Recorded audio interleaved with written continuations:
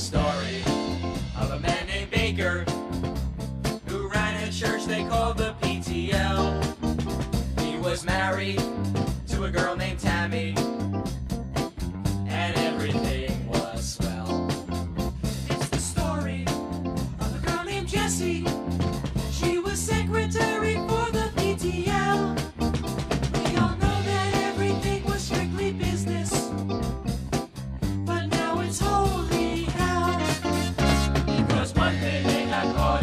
hotel room. And Jessica was knelt down on her knees.